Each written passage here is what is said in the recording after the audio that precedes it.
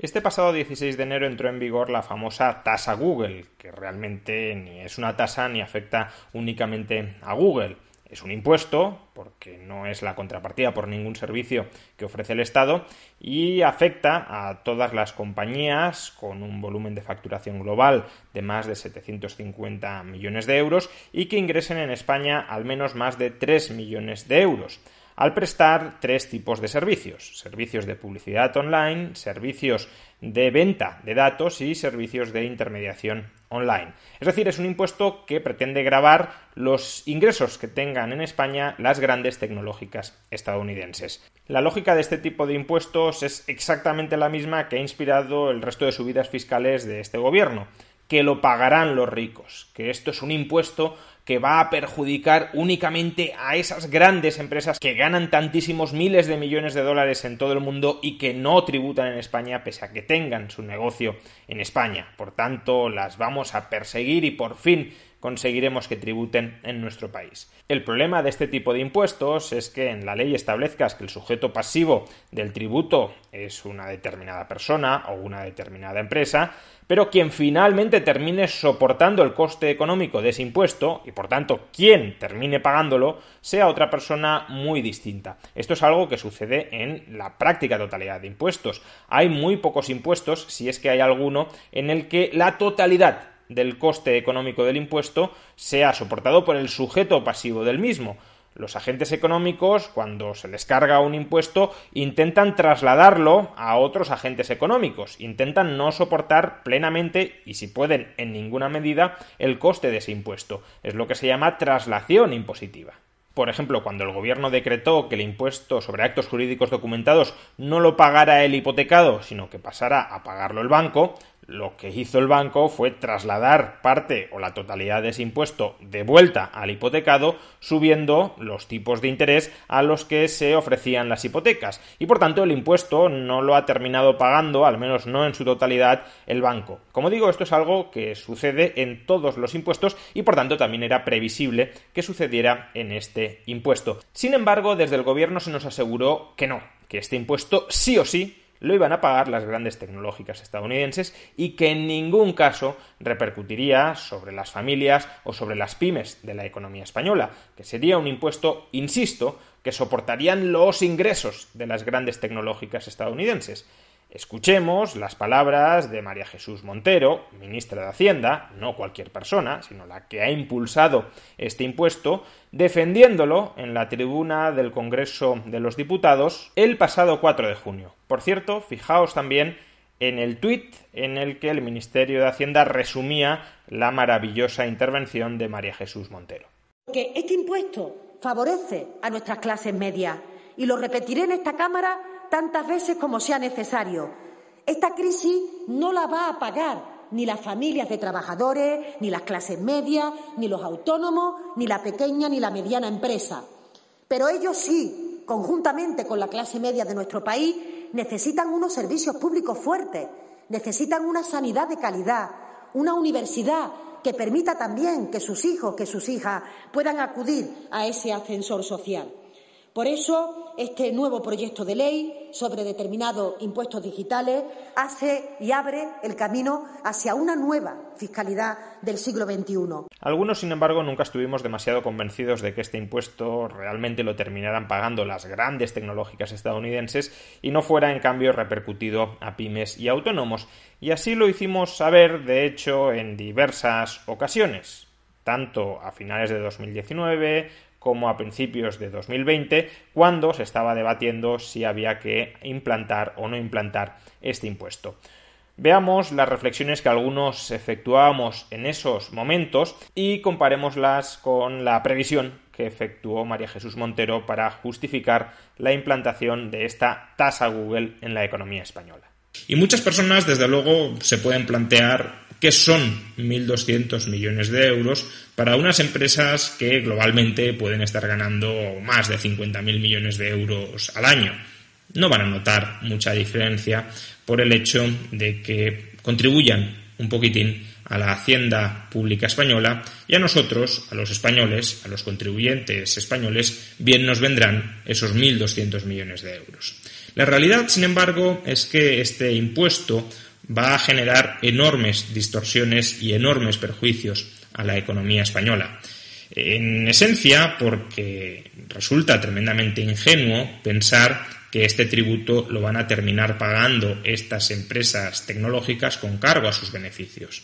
Amazon y Google, por ejemplo, ya han anunciado que van a repercutir este tributo del 3% a sus usuarios, a sus clientes. Es decir, que van a ser aquellos empresarios o aquellos autónomos españoles que contraten publicidad online o que contraten servicios de intermediación online los que tendrán que pagar un 3% más por esos servicios. Y este encarecimiento de los servicios online, de los servicios digitales que proporcionan estas empresas, eh, como decía, va a ser muy dañino para nuestra economía. Bueno, recordemos que uno de los objetivos que dice tener el presidente del gobierno, Pedro Sánchez, con respecto a la economía española, que repite cada vez que le preguntan al respecto, que lo proclamó eh, también en el discurso de investidura, es digitalizar la economía española, promover la digitalización de la economía española.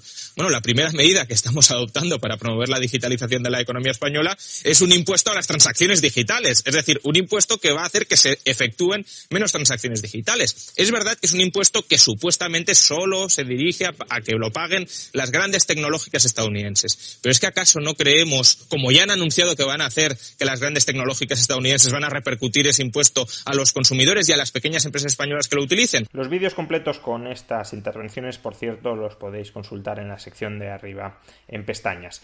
Pues bien, al final, ¿quién ha tenido razón? María Jesús Montero, la encargada de diseñar y defender en el Congreso este tributo, u otros que pensábamos que efectivamente Amazon, Google y las otras grandes tecnológicas iban a repercutir este impuesto a los usuarios. Pues al final, y por desgracia, hemos tenido razón quienes augurábamos lo obvio, que es lo que estas empresas ya habían dicho que iban a hacer es decir, quienes anticipamos que iban a repercutir el tributo a pequeñas empresas y autónomos. Amazon acaba de comunicar a sus partners que a partir del 1 de abril les subirá el precio de sus servicios en un 3%.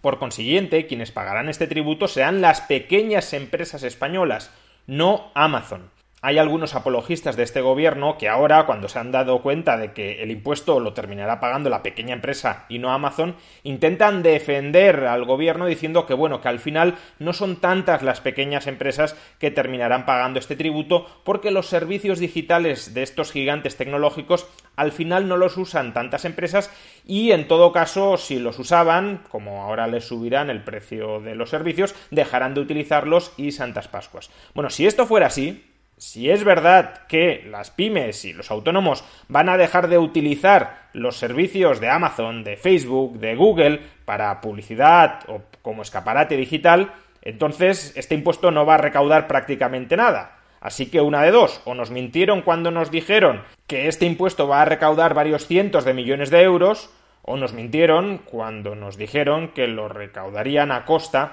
de las grandes tecnológicas estadounidenses. Lo que no puede ser es que si las grandes tecnológicas lo repercuten a las pymes, se sigan recaudando varios cientos de millones de euros, pero a costa no de las pymes, sino de Amazon, de Facebook o de Google. Las dos a la vez no se dan, o no se va a recaudar nada, o quienes pagarán esto serán las pymes. Y esto, por cierto, me lleva a una reflexión más de fondo. ¿Quién ha sido el iluminado de este gobierno que ha pensado que después de que las pequeñas y medianas empresas españolas hayan sido absolutamente devastadas durante el año 2020, durante el año de la pandemia, un ejercicio durante el cual muchas de ellas solo han sido capaces de sobrevivir yéndose al canal online, es decir, no a través del trato presencial, interrumpido fundamentalmente por la pandemia, sino tratando de ofrecer servicios digitales.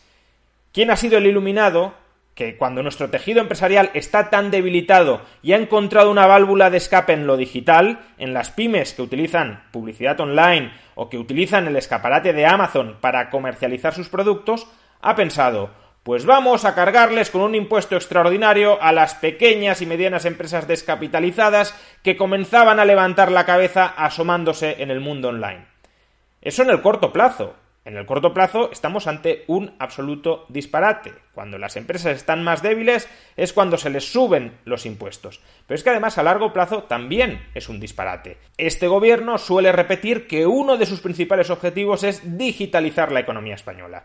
Y es verdad que la economía española está poco digitalizada. Y eso es un problema porque no estar digitalizado no solo te cierra las puertas del mercado interior, sino también del mercado exterior. Es decir, baja digitalización hoy en día va de la mano de baja internacionalización, salvo que las empresas se internalicen físicamente asumiendo costes totalmente desproporcionados. Por tanto, sí es necesario que la economía española se digitalice y por tanto se internacionalice. Ahora bien, si una de las primeras medidas que adoptas para fomentar la digitalización es imponerle un tributo a la digitalización, pues evidentemente se van a digitalizar muchas menos empresas de las que alternativamente se habrían digitalizado, porque todas aquellas empresas que están utilizando a día de hoy los servicios de Amazon, los servicios de Google, los servicios de Facebook, los utilizan porque no conocen alternativas mejores y más baratas. Con lo cual, si tú la mejor alternativa que conocen la encareces sustancialmente, lo único que vas a impulsar es o a que dejen de digitalizarse o a que se digitalicen por alternativas peores y más caras.